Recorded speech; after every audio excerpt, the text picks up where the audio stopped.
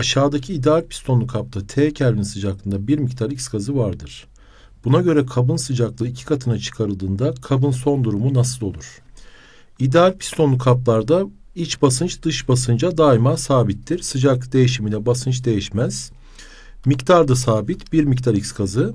Sıcaklık arttırıldığı zaman hacim artar. Sıcaklıkla hacim doğru orantılıdır. Buna göre sıcaklık T Kelvin'den iki katına çıkarılırsa yani 2T Kelvin'e getirilirse hacim de 2V'den 4V'ye çıkar. Ve basınç hala 1 atm olarak sabit kalacaktır. Buna göre doğru seçenek D'dir. Aşağıdaki sabit hacimli kapta T sıcaklığında eşit mol sayıda XY ve XY2 gazları vardır. Buna göre gazların niceliklerinden hangileri eşittir? Gazların mol sayıları eşit. Her iki gazı da 1 mol kabul edelim. 1 mol XY, 1 mol XY2. Kütleleri eşit olamaz. Çünkü burada 1 mol X'e karşı 1 mol Y var. Burada 1 mol X'e karşı 2 mol Y var. Y daha fazla olduğu için ikincinin mol ağırlığı daha fazladır. Toplam atom sayısı 1 mol XY'de 1 bir daha 2 mol atom var. 1 mol XY2'de 1 2 daha 3 mol atom var. Atom sayıları da eşit olamaz. Ama X atomu sayıları eşittir. 1 molünde 1 mol X, 1 molünde 1 mol X var. Buna göre doğru seçenek C. Aşağıdaki ideal pistonlu kapta 4 atm basınçta 6 litre hacim kaplayan X gazı vardır.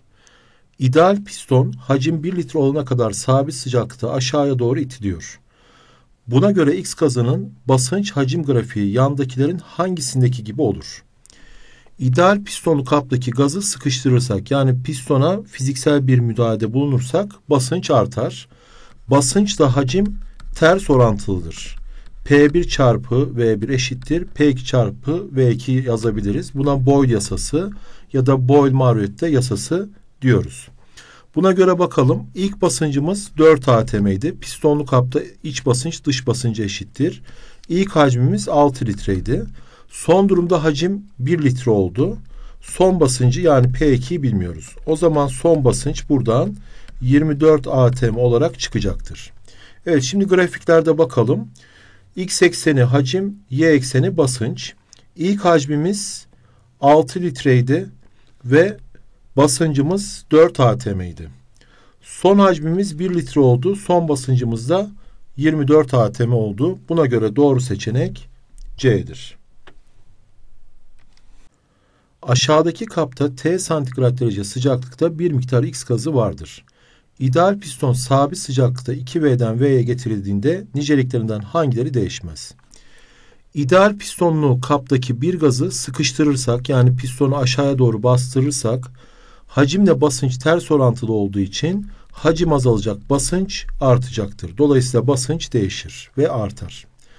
Ortalama kinetik enerji EK sıcaklıkla doğru orantılıdır. Sabit sıcaklıkta bu işlem yapıldığı için ortalama kinetik enerji değişmeyecektir. Yine kaba herhangi bir gaz eklenmediği ya da dışarıya doğru gaz alınmadığı için molekül sayısı da değişmeyecektir. Buna göre doğru seçenek E'dir. İdeal davranıştaki bir miktar X gazının basınç sıcaklık değişimini gösteren grafik aşağıdaki gibidir. Buna göre yargılarından hangileri doğrudur? Grafiğe baktığımız zaman sıcaklık arttıkça basıncın arttığını görüyoruz. Eğer bu gaz ideal pistonlu kapta olsaydı sıcaklığı arttırdıkça piston yukarı doğru çıkacaktı ve basınç dengelenecekti, değişmeyecekti. İdeal pistonlu kaplarda yani sabit basınçlı kaplarda pistona fiziksel bir müdahalede bulunulmadığı sürece yani pistona bastırılmadığı ya da yukarı doğru çekilmediği sürece sıcaklık, mol gibi faktörlerle basınç değişmez. Sıcaklık arttıkça basınç arttığına göre bu sabit hacimli bir kap. X gazımız sabit hacimli kapta. Sıcaklık arttıkça çarpışma sayısı arttığı için basınç artar. X gazı kapalı sabit hacimli bir kaplıdır ifadesi doğru. Sıcaklığın birimi Kelvin'dir. Bu ifade yanlıştır. Kelvin ile ilgili olan grafiklerde sıcaklık sıfırdan başlamalı. Çünkü ulaşabildiğimiz en düşük sıcaklık sıfır Kelvin'e yakın sıcaklıklardır. En düşük sıcaklık olarak 0 Kelvin'e ulaşabileceğimizi düşünüyoruz. Bu da santigrat derece cinsinden eksi 273 santigrat dereceye denk geliyor. Dolayısıyla grafik eksi 273'ten başladığı için bu grafik santigrat derece grafiğidir. X gazının sıcaklığı arttırıldıkça basıncı artmıştır. Bunu grafikten zaten görüyoruz. Buna göre doğru seçenek D'dir. İçlerinde birer mol karbondioksit gazı bulunan biri sabit hacimli, diğeri ideal pistonlu iki ayrı kaba birer mol N2O gazı ilave ediliyor. Buna göre son durumda niceliklerinden hangileri her iki kapta da iki katına çıkar? Kaplarda en başta birer mol karbondioksit gazımız var. Daha sonra bu kapların içerisine birer mol diazot monoksit gazı ilave ediliyor. Şimdi buna göre soruyu cevaplandıralım. Mol sayısı her iki kapta da iki katına çıkar. Bir varken bir ekledik. Birden ikiye. Burada da aynı şekilde birden ikiye çıktı. Bu ifade doğrudur. Kütleye bakalım. Bu gazların mol ağırlıklarını bulmamız gerekiyor. Karbondioksitin mol ağırlığı. Yapısında 1 mol karbon var. Parantez içine baktığımız zaman 12 gram.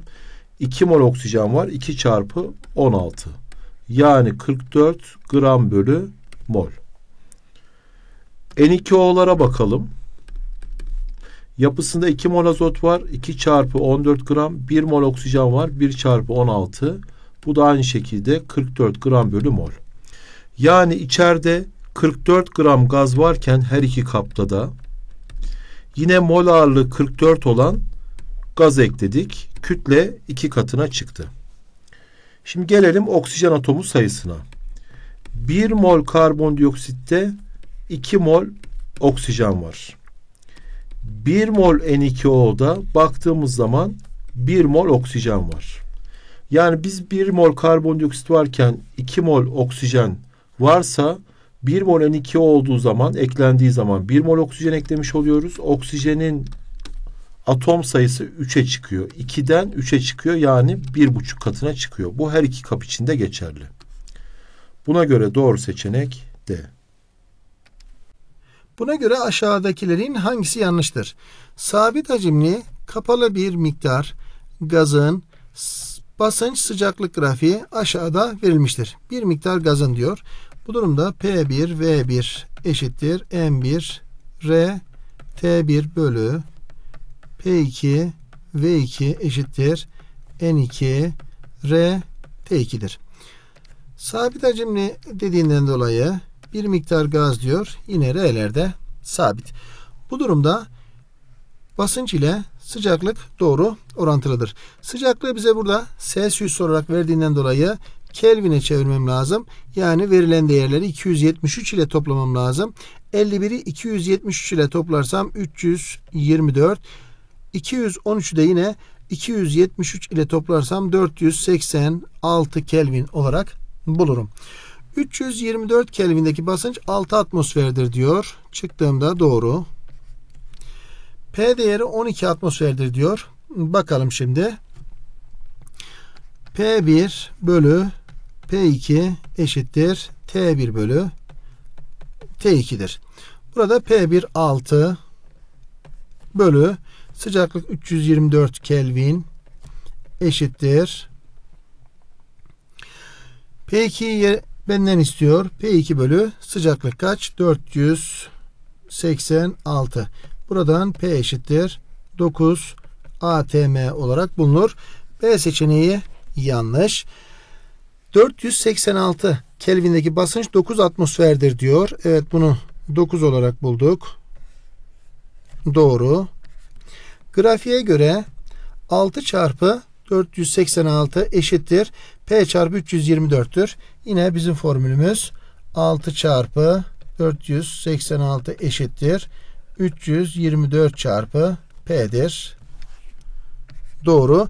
0 santigrat derecedeki basınç 6 atmosferden küçüktür diyor. 0 santigrat derecedeki basınç burasıdır ve 6'dan küçüktür. Doğru. Bu durumda cevabımız B seçeneğidir. Aşağıdaki ideal pistonlu kapta T Kelvin sıcaklığında bir miktar helyum gazı vardır. Kaba aynı sıcaklıkta helyum gazı ekleniyor. Buna göre yandaki grafiklerden hangisi yanlıştır? İdeal pistonlu kaplarda pistona fiziksel bir müdahale yapmadığımız sürece yani pistonu aşağıya doğru bastırıp ya da yukarı doğru çekmediğimiz sürece Basınç daima dış basınca sabittir. Yani kısacası basınç sabittir. Gaz eklediğimiz zaman ise piston yukarı doğru çıkar. Çünkü hacimle mol doğru orantılıdır. Buna göre bakalım. Zamanla helyumun kütlesi artacaktır. İçeride zaten bir miktar helyum vardı. Bir miktar daha ekleyince kütle artacak. Bu grafik doğrudur. Zamanla hacim artacaktır. Gaz eklendikçe hacimle mol doğru orantılı olduğu için hacim artacaktır. En başta da bir miktar gaz vardı. Belli bir hacim vardı. Basınç değişmeyecektir. İdeal piston olduğu için. Hacim artacaktır ama basınç değişmeyecektir. Sıcaklık artmış burada, hacim de artmış. T Kelvin sıcaklığında diyordu ve aynı sıcaklığı diyordu. Sıcaklık değiştirilmediği için bu ifade yanlıştır.